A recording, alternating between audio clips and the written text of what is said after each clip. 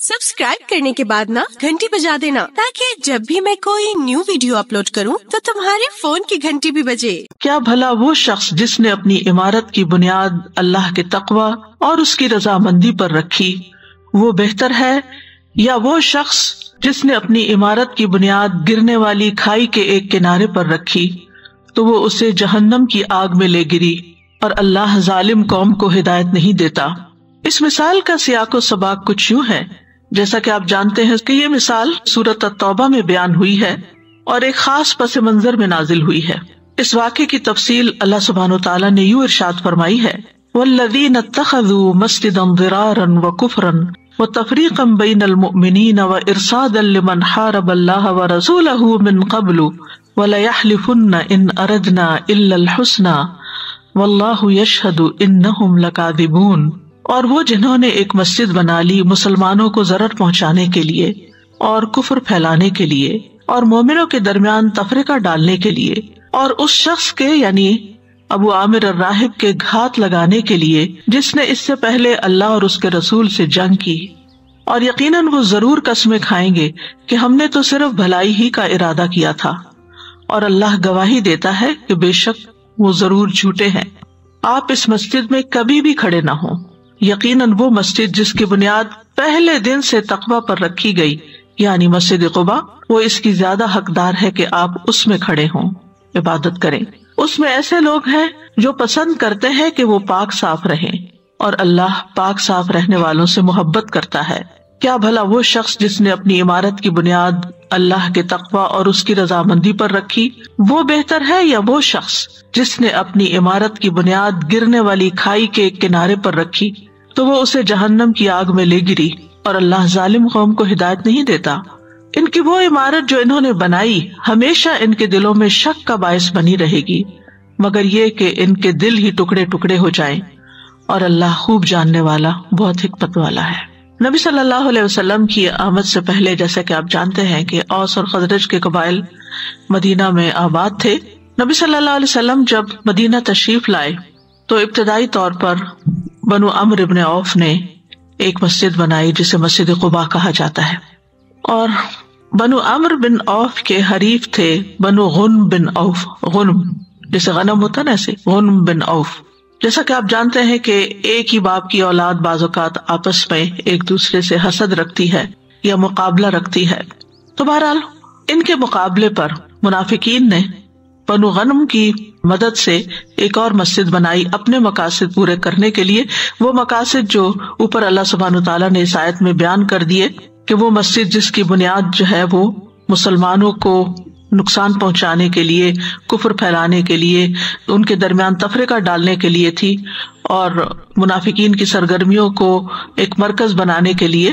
तो ये उस मस्जिद के बनाने का असल मकसद था, बुनियादी तौर पर मुसलमानों को नुकसान पहुंचाना और अल्लाह और उसके रसूल सल्लल्लाहु अलैहि वसल्लम के खिलाफ तकरीब कारी करने वालों को एक महफूज पनागाह मुहैया करना।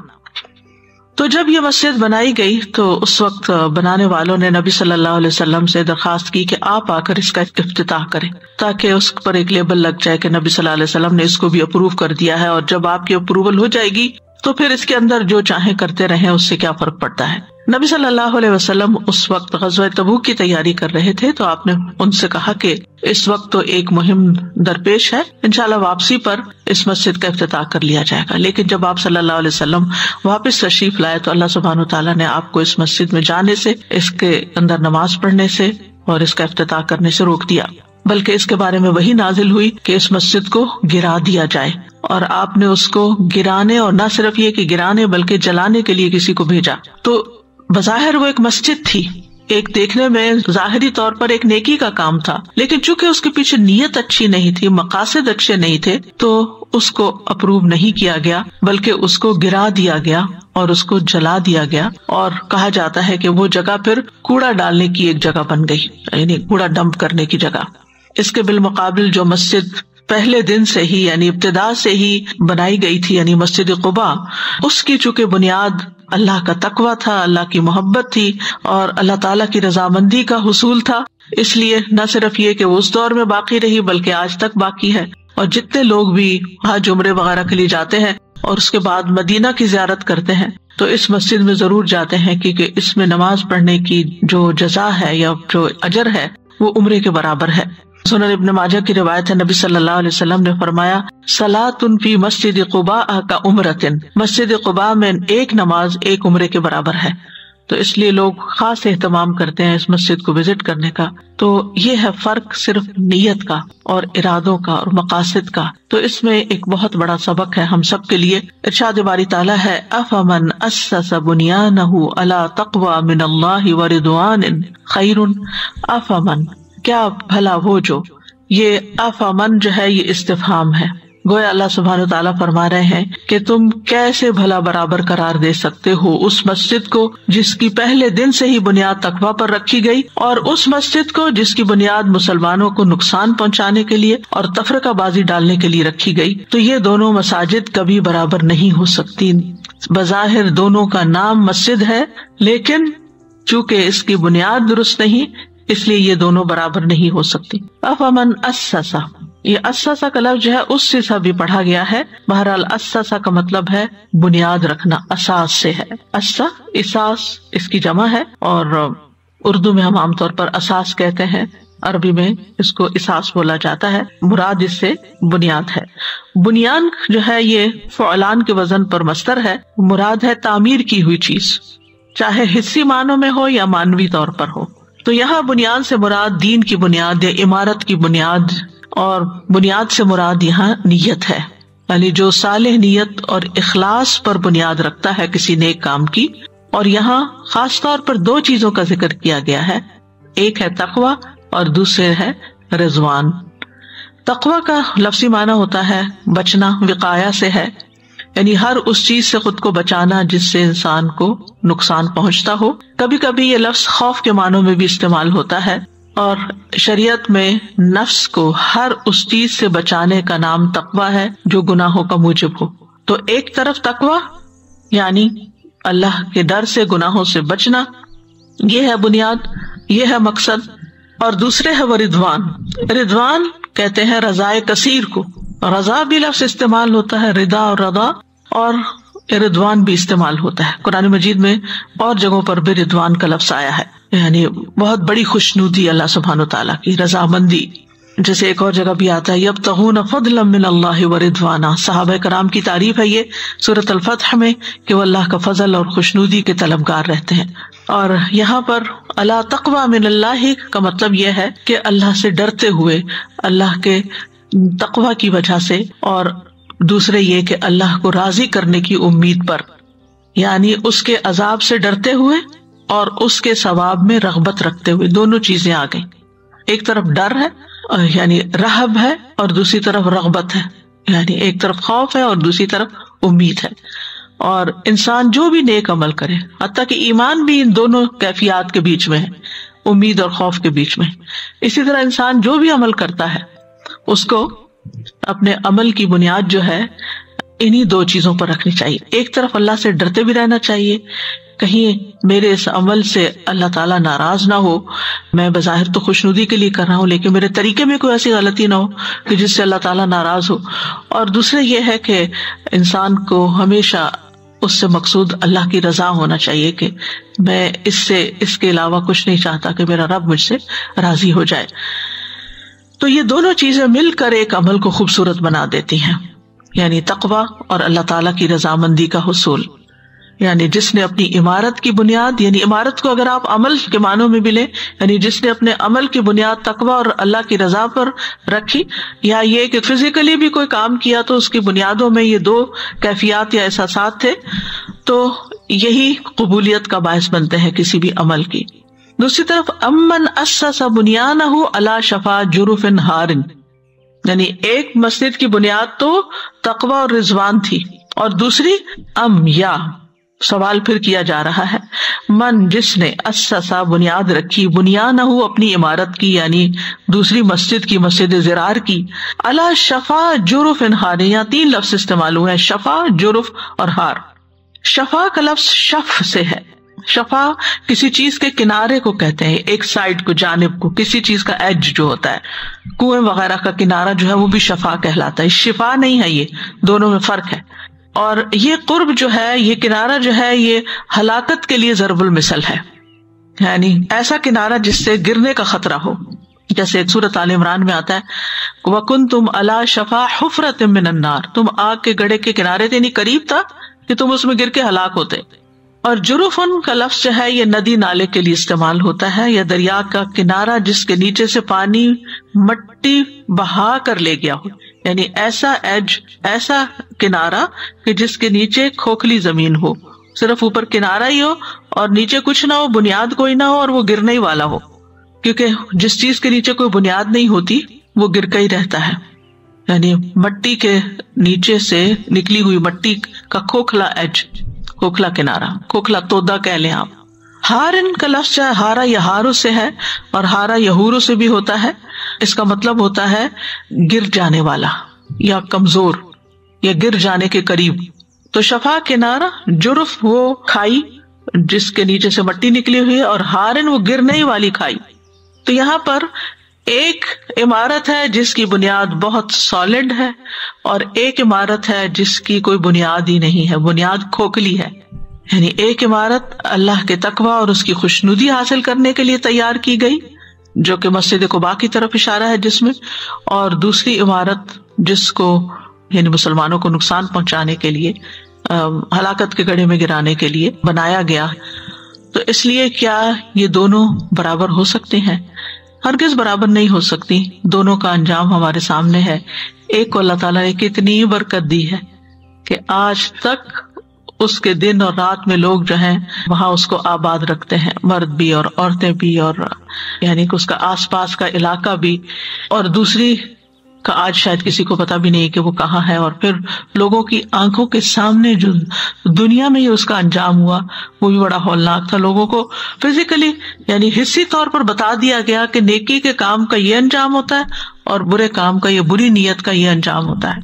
और जैसी इंसान की नीयत होती है, वैसा ही उसको सिला मिलता है, और जैसा बीज होता है, वैसा ही फल आता है। जाबिर बिन अब्दुल्ला बयान करते हैं, मैंने रसूल अल्लाह सल्लल्लाहु अलैहि वसल्लम के अहद में मस्जिद जिरार से धुआँ निकलते हुए देखा है। यानी लोगों ने अपनी आँखों के सामने उसको जलते देखा। और बहरहाल हम सब के लिए इसमें एक बहुत बड़ा सबक है कि हमें अपनी नीयत को दुरुस्त रखना चाहिए। और नीयत का बिगाड़ जो है, वो इंसान के सारे अमाल को बर्बाद कर देता है। एक तरफ़ नीयत की मजबूती जो है, वो अमल की मजबूती बन जाती है। और दूसरी तरफ़, नीयत की कमज़ोरी, कमज़ोर तरीन बुनियादों और कमज़ोर तरीन दीवारों पर खड़ी की हुई इमारत जो है, वो बर्बाद होकर रह जाती है। इस मिसाल से इंसान बहुत अच्छी तरह ये समझ सकता है कि ज़िंदगी की तामीर की बुनियादें भी दो हैं। यानी इंसान अपनी ज़िंदगी को जिन बुनियादों पर तामीर करता है, एक तकवा है और दूसरी तरफ़ जुल्म है। यानी एक तरफ़ यह है कि इंसान जो भी कोई अमल करे, वो अल्लाह से डरते हुए करे, तकवा की बुनियाद पर करे।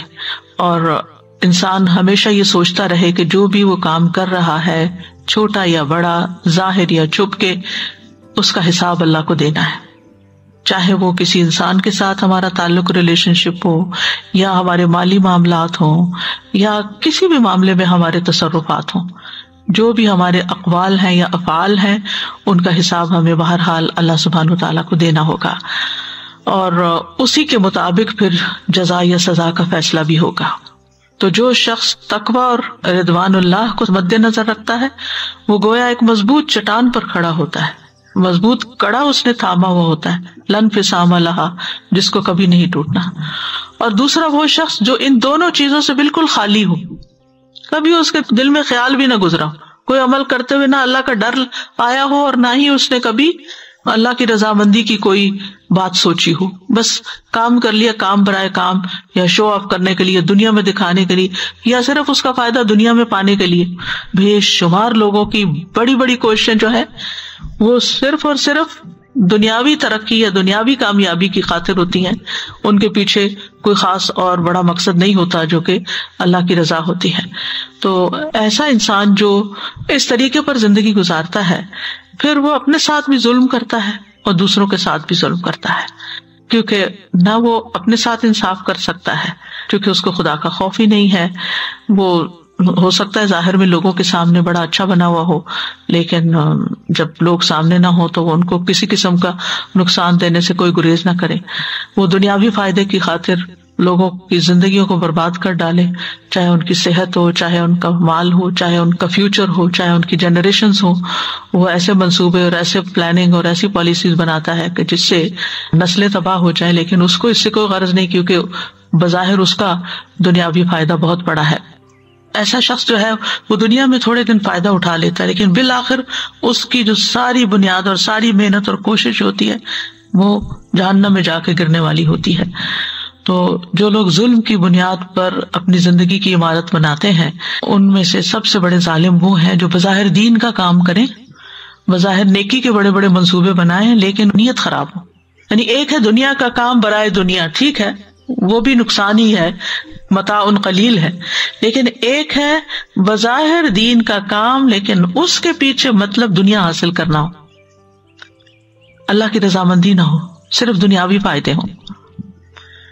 तो ऐसी सूरत में इंसान को अपने तर्ज अमल का खुद जायजा लेना चाहिए, क्योंकि बहुत दफ़ा ऐसा होता है कि इंसान को अपने अमाल का खुद भी कुछ अंदाज़ा नहीं होता कि वो क्या कर रहा है और क्यों कर रहा है। तो जो भी कोई काम इंसान करता है, उसकी बुनियाद मज़बूत होनी चाहिए। यानी मज़बूत अकीदा होना चाहिए उसकी बुनियाद में और सही तर्ज अमल पर सही दीवारें उसकी उठनी चाहिए। सही तरीके से वो काम करना चाहिए। तो जो काम सही तरीके पर नहीं होता, सही बुनियादों पर नहीं होता, उसका अंजाम फिर क्या होता है? फनहार अभी फ़ी नार जहन्नम। वो अपने करने वाले को लेके, वो खुद भी और उसका काम भी वो जहन्नम में जा गिरता है। इसीलिए बुत और सूरज और चाँद, ये सब भी जहन्नम का हिस्सा होंगे, ताकि लोग देखें कि जिनके लिए वो सब कुछ करते रहे, वो उन्हीं के साथ आके हसब जहन्नम बन गए। तो इससे ये पता चलता है कि नीयत के बिगाड़ पर कायम जो भी अमल होगा वो खोखला अमल होगा और किसी भी इमारत की पायदारी का इन्हिसार, उसके बाकी रहने का इन्हिसार, उसकी ठोस बुनियादों पर होता है। कि बुनियादों में क्या डाला गया है? बुनियादें कैसी रखी गई हैं? और जाहरी तौर पर बहुत से लोग बड़े अच्छे अच्छे काम करते दिखाई देते हैं।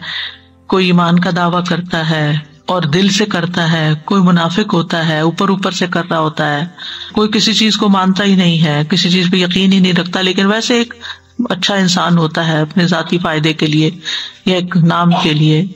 लेकिन कुछ लोग बज़ाहिर ईमान का इजहार करते हैं, मगर काम उनके इंतहाई फासे को फाजर लोगों जैसे होते हैं। यानी मुख्तलिफ़ मिसालें मिलती हैं माशरे के अंदर, जो हम दिन रात देखते रहते हैं। कुल कुल या मलो अला शाह के लती कह दीजिए, हर एक अपने अपने तरीके पर चल रहा है। और रब कया आलम हुआ अहदा सबीला। तुम्हारा रब ज़्यादा जानता है कि इनमें से सही तरीका किसका कौन सीधे रस्ते पे जा रहा है? तो सीधे रास्ते पर वही है जो ज़ाहिर और बातिन, अंदर और बाहर, दोनों ही दुरुस्त हो। जिसका अंदर दुरुस्त नहीं, उसका ज़ाहिर दुरुस्त हो भी तो उसको फ़ायदा नहीं देगा। वक्ती फ़ायदा ज़रूर हो सकता है। इसी तरह अगर किसी का अंदर तो दुरुस्त है, लेकिन ऊपर इमारत अच्छी नहीं तो ये आमतौर पर मुमकिन नहीं होता, क्योंकि जिसकी बुनियाद अच्छी हो जिस चीज़ का बीज अच्छा हो, उसकी इमारत भी है, उसका दरख्त भी है, उसका पौधा भी अच्छा ही होता है। तो इसी तरह यह है कि जिस ज़मीन पर वो इमारत बनाई जाती है, अगर वो पायदार ना हो तो वो भी नुकसानदेह होती है। बाज जमीनें ऐसी होती हैं जो शुरीली होती हैं, जिनका पानी का लेवल बहुत ऊँचा होता है। उनकी बुनियादों में जल्द पानी आ जाता है और वो तबाही लाती हैं इबारतों के लिए। तो हर एतबार से इंसान को कहाँ पर कोई काम नहीं जमान और मकान दोनों के एतबार से देखना चाहिए। कहाँ काम कर रहा है, किस वक्त में काम कर रहा है, किस नीयत के साथ कर रहा है, किसके लिए कर रहा है, किस तरीके पर कर रहा है। वरना यह है कि अगर इन सारी चीज़ों को मद्देनजर नहीं रखा जाएगा तो सारी कोशिशें बेकार हो जाएँगी। तो इंसान के अमाल की ये एक बेहतरीन मिसाल है कि इंसान का तरीका कार क्या है? क्या वो सिर्फ़ दुनिया के लिए कर रहा है या फिर अल्लाह की रजा के लिए कर रहा है। वल्लाह यह दिल कौमजालिमीन और अल्लाह जालिम कौम को हिदायत नहीं देता। और जुल्म का माना, जैसे आप जानते हैं कि किसी चीज़ को उसके अपने मकाम पे न रखना, उसकी खास जगह पर न रखना, या ये कि किसी चीज़ में कमी कर देना, या ज्यादती कर देना, या उसको असल जगह से हटा देना तो जुल्म जो है वो इंसान अपने साथ भी करता है और लोगों पर भी करता है और अल्लाह के हक में भी करता है। जैसे शिरक है, फिर इसी तरह यह है कि इंसानों के हकूक मार के भी जुल्म करता है। और कुछ लोग ऐसे हैं कि जो अपने आप पर ही जुल्म करें। फमिन हम जालिमुल नफ्स ही जो अपनी ज़िंदगी का मकसद पूरा नहीं करते। तो यहाँ पर अल्लाह ताला फरमा रहे हैं कि अल्लाह जालिम लोगों को हिदायत नहीं देता। यानी हिदायत से उनकी महरूमी की वजह वो खुद है, क्योंकि वो जालिम है। और यहाँ हिदायत से मुराद कैसे जैसे कल भी बात हुई, हिदायत दो तरह की होती है, हिदायत तोफीक और इर्शाद।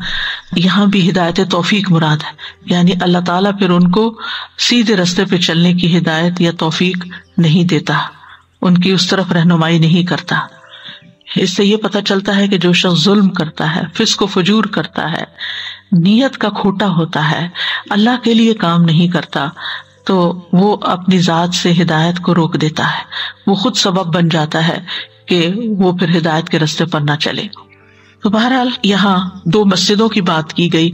आप इनको दो अफराद से भी ताबीर कर सकते हैं कि एक वो शख्स है जिसने अपनी ज़िंदगी की बुनियाद अल्लाह की रजा पे रखी हुई है, तकवा के साथ जीता है, और दूसरा वो जिसको इन दोनों चीज़ों का कुछ भी इल्म नहीं।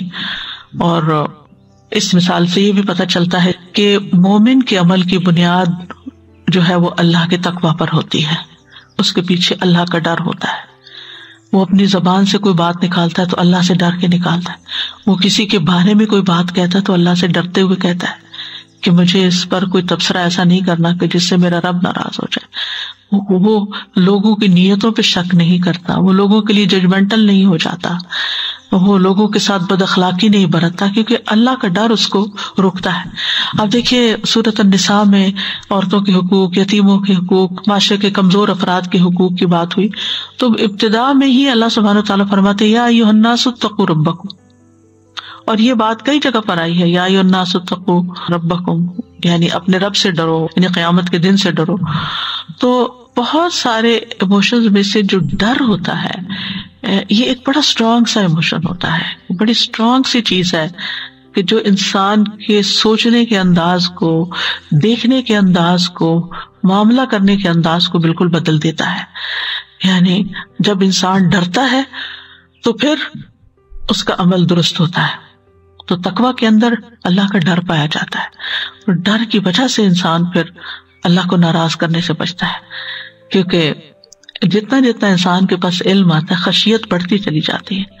और खशियत भी अल्लाह का डर ही होता है, लेकिन वो डर जो इल्म पर मबनी होता है। एक होता है ना, सिर्फ़ सुनी सुनाई पर डरना, और एक होता है इल्म की बुनियाद पर डरना। तो हकीकी डर अल्लाह का वही है जो इल्म की बुनियाद पर होता है। और इंसान फिर उन सारी चीज़ों को छोड़ता चला जाता है जिनको अल्लाह ताला पसंद नहीं करता और उन चीज़ों को ढूंढ ढूंढ के करता है। और खासतौर पर रिलेशनशिप में और खासतौर पर इंसानों के हुकूक देने में वो अल्लाह से डरता है कि किसी का हक मेरी तरफ़ ना रह जाए। मैं देने वाला हूँ। ऐसा ना हो कि मेरे हाथों किसी को नुकसान पहुँच जाए। मेरी वजह से किसी का घर ना टूट जाए। मेरी इंटरफेरेंस से किसी की ज़िंदगी में कोई बेचैनी और इसतराब ना आ जाए। मेरे तजस्स की वजह से कोई मामला खराब ना हो जाए। मेरी गीबत या चुगली की वजह से या बहुतान तराशी की वजह से कोई अपने हुकूक से महरूम ना हो जाए। बाजुकात कोई शख्स बड़ा हकदार होता है। किसी और से मशवरा कर लेता है, क्या ख्याल है, मैं इसकी मदद करूँ? कहते ना ना, इसकी मदद ना कर। खुद भी बुखल करते हो या मरून अन्ना से बिलबुखल? औरों को भी, अब ये जो या मरून अन्ना से बिलबुखल है, ये वो लोग हैं जो अल्लाह से डरते नहीं।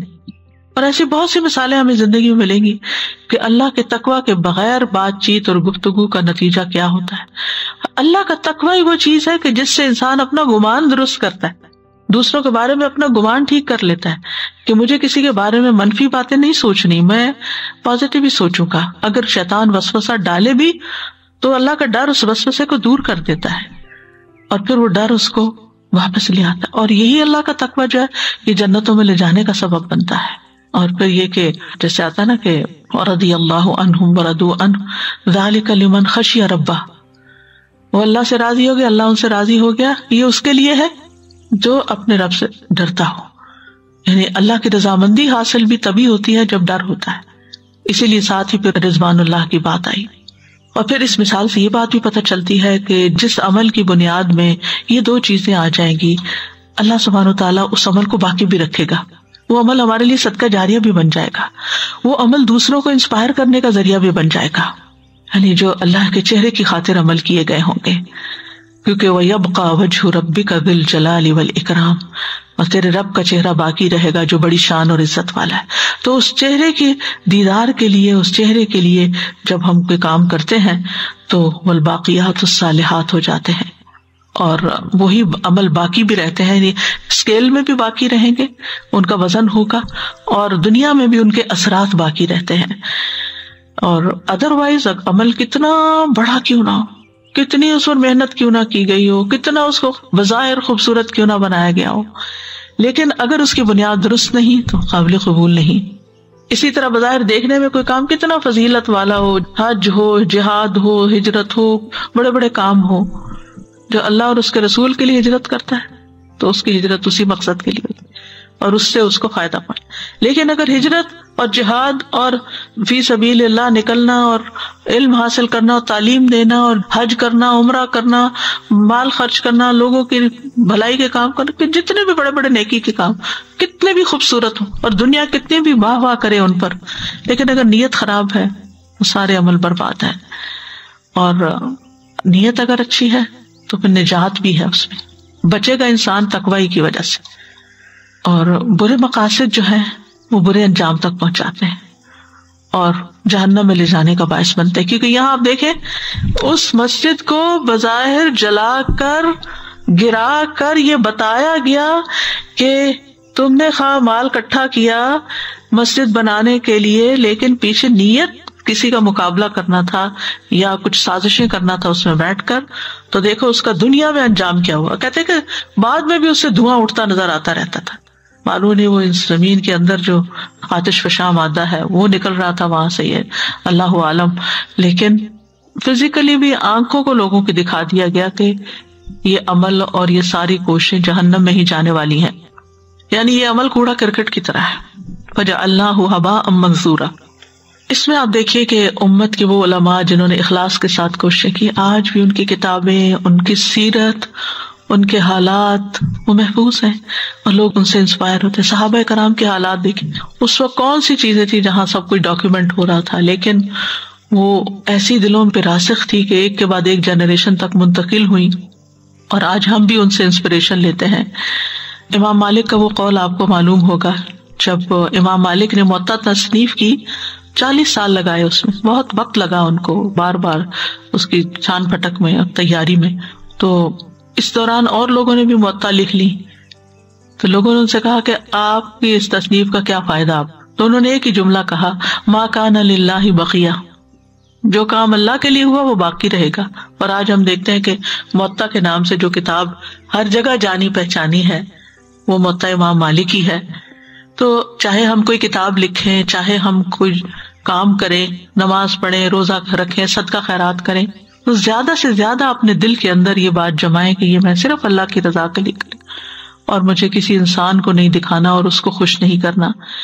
क्योंकि ऐसे ही अमाल हैं जो दुनिया से जाने के बाद भी बाकी रहते हैं, उनके असरात बाकी रहते हैं। हज़रत उस्मान रज़ी अल्लाह के कुएँ की मिसाल है। मदीना में उस वक्त कई कुएँ होंगे। लेकिन उस वक्त से लेकर अब तक कौन सा कुआँ बाकी है? वो यही कुआँ है, बेर रोमा जो है। हो सकता है आपको भी देखने का इतफाक हुआ। मैं खास तौर पर जब मदीना में गई थी तो उसकी साइड पर गई थी और देखा कि किस तरह दरख्तों के झुंड में आज भी वो कुआँ बाकी है। उन्होंने उस दौर के लोगों के लिए और बाद वालों के लिए अल्लाह की खातिर उसको वक्फ किया था, अपना कीमती तरीन माल देकर। और उसकी बरकत आज भी मौजूद है। इसी तरह नहर जुबैदा जो थी, उस पर बहुत ज़्यादा खर्च आया था। और मक्का में आने वाले हाजियों के लिए पानी की कमी होती थी तो उसने ये नहर बनवाई थी और जब उसके सामने हिसाब किताब रखा तो उसने उसको फाड़ दिया कि ये अल्लाह के लिए है। तो बहरहाल, सदियों तक वो नहर भी बाकी रही और लोगों तक उसकी सैराबी पहुँचती थी। इसी तरह अल्लाह की खातिर की गई जो दोस्ती है और जो मोहब्बत है अल्लाह की खातिर किसी इंसान से, वो भी क्यामत तक बाकी रहेगी।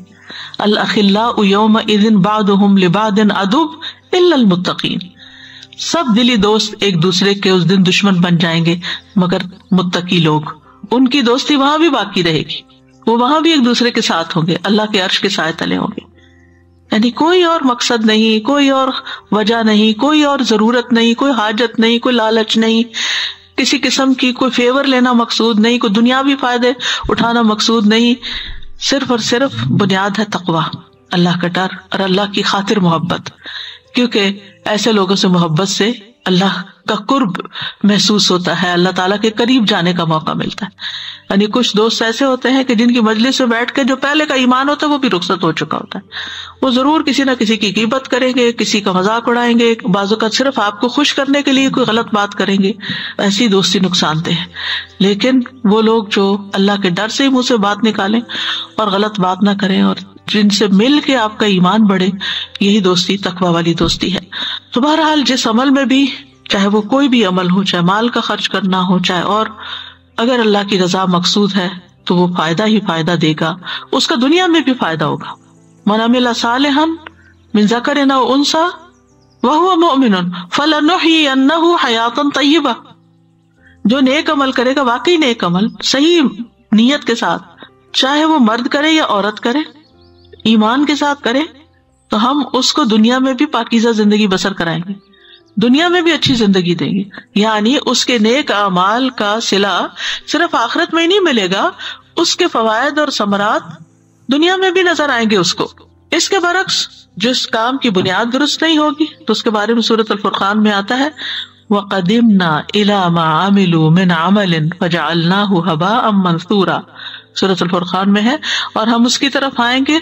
जो उन्होंने कोई भी अमल किया होगा, उसे बिखरा हुआ गुबार बना देंगे। यानी बजाहिर देखने में ढेरों नेकियाँ होंगी अमाल नामे में।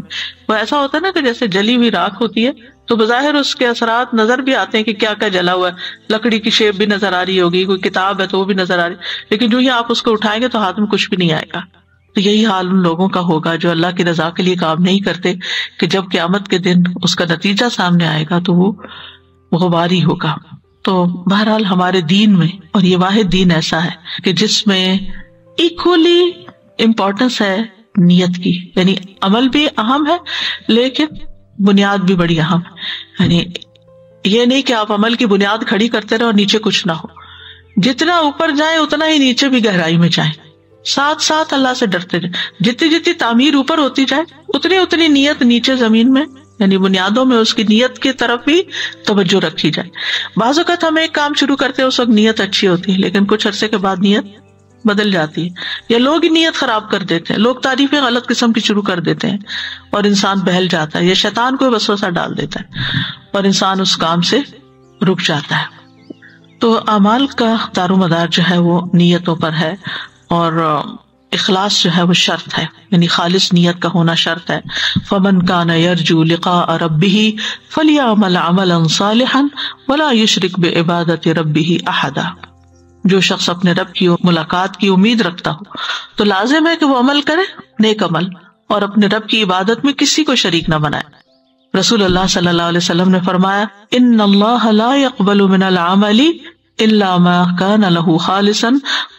बिही वजहू अल्लाह ताला सिर्फ़ वो अमल कबूल करता है जो खालिस उसकी रजा के लिए हो और उसका चेहरा चाहने के लिए किया जाए।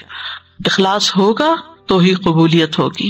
एक शख्स नबी सल्लल्लाहु अलैहि वसल्लम के पास हाजिर हुआ और कहने लगा, आप बताएँ, एक शख्स जंग के लिए जाता है और सवाब और शोहरत दोनों का तलबगार है। सवाब भी चाहिए, शोहरत भी चाहिए। उसे क्या मिलेगा? फरमाया, कुछ नहीं मिलेगा। उसने तीन बार यही सवाल किया और तीन बार आपने फरमाया, उसे कुछ नहीं मिलेगा। आपने फरमाया, अल्लाह सिर्फ़ उस अमल को कबूल करता है जो खालिश उसके लिए किया जाए और सिर्फ़ उससे ही उसका चेहरा चाहा जाए। गोया दूसरे लफ्जों में जो काम अल्लाह के लिए नहीं किया गया, वो फ़ायदा मंद ना होगा। इब्न तैमिया कहते हैं, जिस काम में अल्लाह की तोफीक ना हो, वो नहीं होता। और जो अल्लाह की रजा के लिए नहीं होता, वो फ़ायदा मंद नहीं होता पर कायम नहीं रहता, बाकी नहीं रहता, उसका असर नहीं होता। यानी कोई नेकी का काम हम अल्लाह की तोफीक के बगैर नहीं कर सकते। अल्लाह ही हमारे दिल में डालता है, हमें सुनवाता है, हमें दिखाता है, हमें मौका अता करता है। वरना हम तो बैठे होते कहीं। अभी अगर हम यहाँ बैठे हैं तो सिर्फ़ अल्लाह की दी हुई तोफीक से बैठे हैं। होना चाहे तो पता नहीं हम कहाँ बैठे हो। क्या कर रहे हो इस वक्त में? कोई और चीज़ें हमें अपने अंदर मशगूल कर ले। तो जहाँ तोफीक नहीं होती, वहाँ काम नहीं होता। ये काम अल्लाह की तोफीक से होते हैं। अब इस पर शुक्र अदा करना चाहिए ना। कि उसने तोफीक दी, उसने मटीरियलाइज कर दिया, मौका अता कर दिया। हो गया काम। फिर उसके बाद अब अगला इम्तिहान है कि अल्लाह ने तो तोफीक दे दी, लेकिन हम क्या कर रहे हैं? क्या हम भी अल्लाह ही के लिए पलट के उसको कर रहे हैं? क्योंकि नतीजा उस वक्त निकलेगा। चाहे तोफीक हो गई, चाहे आपने काम कर लिया अच्छा नतीजा सिर्फ़ उस वक्त निकलेगा जब आपकी नीयत अच्छी होगी। इंसान के पास ला वला कुवत इल्ला कोई ताकत नहीं, कोई तदबीर नहीं। मगर ये कि अल्लाह ही उसको सुझाए। हज़रत अली रज़ी अल्लाह कहते हैं, खबरदार तुम ऐसे वक्त में ज़िंदगी गुजार रहे हो, जिसमें तुम्हें मोहलत दी गई है। वक्त है तुम्हारे पास। इसके बाद तुम्हारी मौत है। जो मोहलत के दिनों में मौत आने से पहले अल्लाह के लिए अपने अमल को खालिज कर लेता है तो उसका अमल अच्छा हो जाता है और वो अपनी आरज़ू पा लेता है। और जो इसमें कोताही करता है और वो अपने अमल को घाटे में डाल देता है तो उसकी आरज़ू उसको नुकसान देती है। उस सिर्फ़ विशफुल थिंकिंग से, तमन्नाओं से कोई फ़ायदा नहीं होता उसको। तो जब इंसान की नीयत अच्छी होती है तो कामयाबी उसका मुकद्दर होती है। थोड़ा अमल भी बहुत हो जाता है। यानी इखलास नीयत के फ़ायदे क्या हैं? कि इखलास का एक कतरा समुन्द्र में भारी होता है। बड़े बड़े अमल से ज़्यादा बेहतर होता है। थोड़ा अमल लेकिन इखलास खालिश दूसरा फ़ायदा ये कि खौफ और गम से निजात मिलती है। बला अमन असलम वजह वह मोहसिन फलाहू अजरुहू इन रबी वला क्यों नहीं, जिसने अपना चेहरा अल्लाह के ताबे कर लिया, और वो नेकी करने वाला है, मोहसिन है तो उसका अजर उसके रब के पास है। उन पर ना कोई खौफ है और ना वो गमगीन होंगे। फिर ये कि अजर बाकी रहता है। वमा तुन फिकून इल्तगा अवजहिल्लाही वमा तुन फिकूमिन खैरकुम तुम ला तुजलमून. पूरा पूरा बदला वापस मिलेगा, जुल्म नहीं किया जाएगा। फिर यह कि वो अजर कई गुना बढ़ा दिया जाता है। जितना जितना इखलास ज़्यादा होगा, उतना गुना अजर ज़्यादा होगा। वमा आते तुम मिन जक़ातिन तुरीदून वजह फ़उलाई मुदफ़ून और जो कुछ तुम जक़ात में से देते हो, अल्लाह के चेहरे का इरादा करते हुए तो यही लोग कई गुना बढ़ाने वाले। दे जक़ात रहे, लेकिन उस जक़ात का भी मल्टीपल फ़ायदा हो जाएगा। फिर हर हर अमल पर दर्जा बुलंद होता चला जाता है। मामूली नेकी पर भी अजर मिल जाता है। हती के कोई शख्स अगर अपनी बीवी के मुँह में एक लुकमा डालता है, सही बुखारी की रिवायत में, उस पर भी उसको अजर मिलता है। छोटे छोटे अमल पर भी छोटी छोटी नेकियों पर भी। फिर ये कि गुनाह माफ़ हो जाते हैं। रसूल अल्लाह वसल्लम ने फरमाया, मुसलमान बंदा जब अल्लाह के चेहरे का इरादा करते हुए नमाज़ पढ़ता है तो उसके गुना इस तरह झड़ जाते हैं जैसे दरख्त के पत्ते झड़ अच्छा आमतौर पर हमारी एक नफसियात है, वो ये कि जब हम कोई फ़र्ज़ अदा करते हैं ना तो हम तो समझते हैं ये तो फ़र्ज़ है ना। उसका सवाब नहीं सोचते हम कभी। लेकिन हम समझते हैं, सवाब तब मिलेगा जब हम कोई नफली काम करेंगे। नफल नमाज़ पढ़ेंगे तो सवाब मिलेगा, सदका करेंगे तो सवाब मिलेगा।